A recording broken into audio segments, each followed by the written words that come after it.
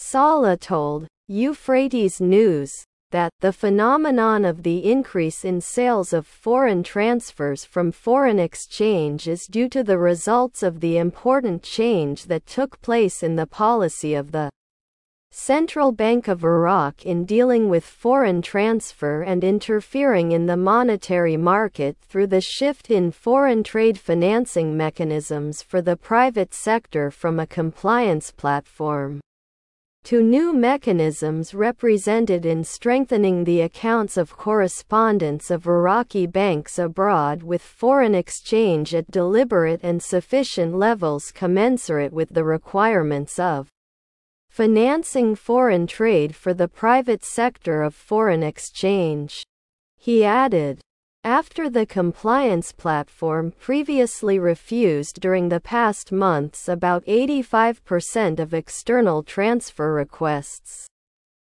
The policy of strengthening the accounts of Iraqi banks with their correspondents from sober international banks became as an alternative policy, which is easy, easy and flexible which made the implementation of daily external transfer requests available and achieved through foreign correspondent banks directly without passing through the platform and with a high percentage of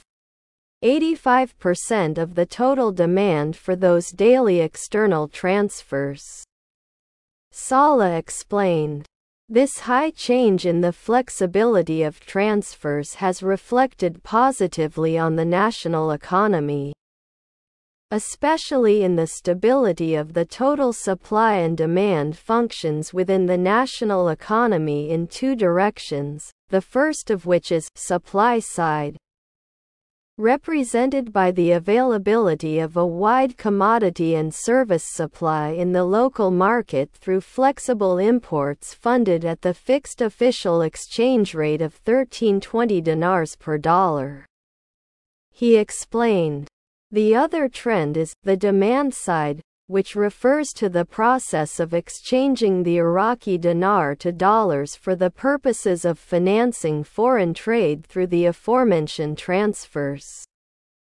Which means that meeting the demand for the dollar represents a direct meeting of the demand for foreign goods, services and benefits, for the benefit of the local market. He pointed out that, meeting the demand for foreign currency is an important pillar of the monetary policy of the Central Bank of Iraq and achieving its operational objectives in addressing and controlling the excess domestic liquidity levels of the dinar, which constitutes the so-called oversayment. This control of local liquidity also represents a positive intervention of the central bank's monetary policy in the cash market and control of the levels of that liquidity. Salah continued. This control leaves its positive effects in achieving a balance between the real current in the macroeconomic of goods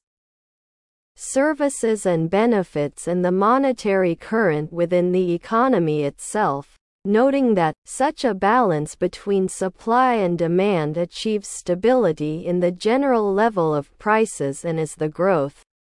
levels of inflation rates which is reflected positively on the stability of the purchasing power of the dinar and the general monetary income.